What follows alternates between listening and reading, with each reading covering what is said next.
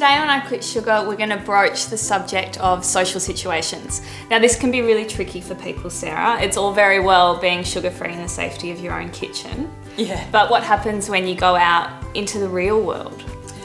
Yeah, I guess I've got three points for that because I know that it is a really big thing and I've been asked about it for years. Um, the first thing is to not turn it into a palaver.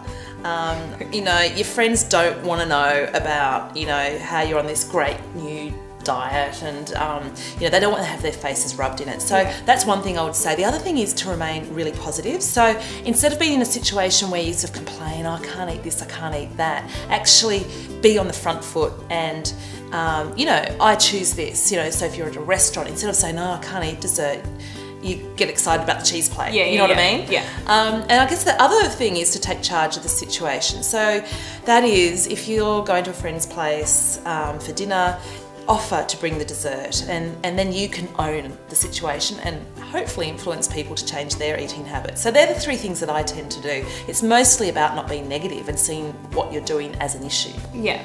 And what about what about alcohol? Like that's a big thing for people. Yeah. And I know that it's not completely off the menu on the program. Yeah. But what are what are the better options? Oh, there's lots of options. Um, first and foremost, white spirits. Um, so your vodkas, your gins, and so on. Um, mixed, yeah, exactly. It's very, very good news for Yeah. most people. Um, mixed with soda water. The other thing, of course, is red wine. Red wine. Um, people think, well, isn't that all fruit and isn't Yeah, it all sugar? Yeah. Um, it's actually the, the fructose, the, the sugar in the grapes that ferments and becomes alcohol. Yeah. Um, now it's the same with white wine and champagne, but to a lesser extent. So a lot more of the sugar remains in white wine and then um, sparkling and champagne. Don't touch dessert wines. A lot of the sugar is kept in there, as you can taste. So there are still lots of things you can do in social situations. We've got some more great hints and tips on the blog, uh, iquitsugar.com.